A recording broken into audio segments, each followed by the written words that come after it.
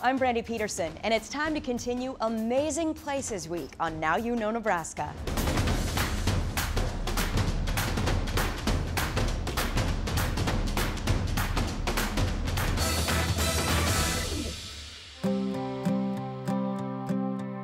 One of the greatest symbols of the journey to the American West is right here in our state, Chimney Rock. But did you know the amazing landmark that stands 325 feet was once even taller?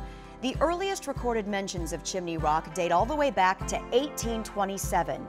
It served as the most noted landmark along the Oregon, California, and Mormon trails.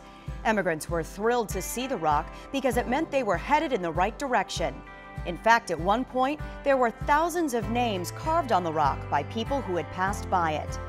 In 1864, a second time visitor to the site estimated that the height had been reduced by about 35 feet from the last time he was there. Wind, erosion, or lightning could have caused this drop in height.